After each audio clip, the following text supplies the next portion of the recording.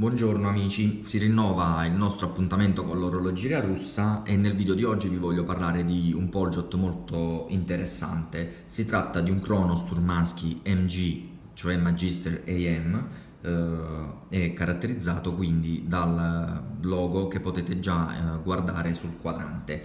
Eh, parleremo a breve di questa eh, particolarità, però eh, intanto vi voglio dare qualche notizia tecnica è un Kronos Turmaschi di fine anni 80, monta un movimento a carica manuale 31-33 che è derivato dal Valjoux 7734, questo movimento è ampiamente rodato nel tempo, è stato prodotto in uh, un numero enorme di pezzi e risulta ancora preciso ed affidabile ai giorni nostri. Uh, come gli altri Sturmaschi civili, anche questo ha uh, la cassa in ottone cromato, il fondello a vite e un vetro che ha un'angolatura a 90 gradi e ve la faccio vedere in questo modo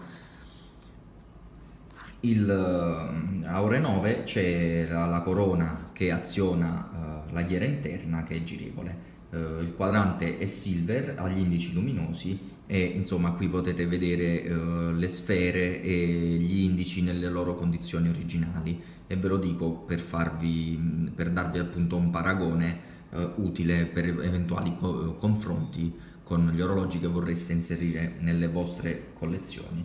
Eh, parliamo della particolarità che eh, quindi del logo che rende questo Sturmaschi così particolare. Possiamo vedere la grafica con le lettere MG celesti e con i bordi neri e sotto c'è la parola Magister AM. Questa parola significa maestro però non significa uh, il maestro di scuola. Infatti stiamo parlando di uh, una indicazione che indica il titolo di maestro attribuito a chi uh, completa un percorso di studi magistrale, quindi corrisponde all'italiano dottore magistrale appunto come titolo. L'ipotesi che riguarda questo orologio è che venisse dato a particolari studenti che, concluso il percorso di laurea magistrale, si erano distinti per particolari meriti.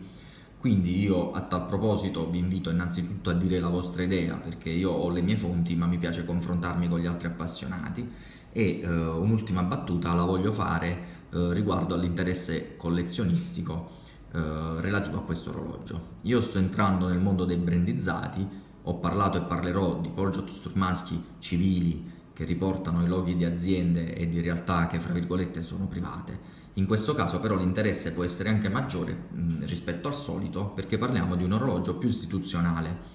Non so quali siano stati i meccanismi per commissionare questo orologio alla fabbrica, se sia intervenuto il governo o altro, però il fatto che questo orologio riguardi l'ambiente scolastico fa crescere sicuramente la mia curiosità e il mio interesse. Per questo motivo sono molto contento di averlo inserito nella mia collezione.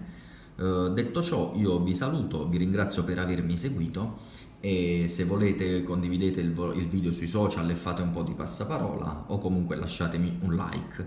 Io vi ringrazio. Ciao!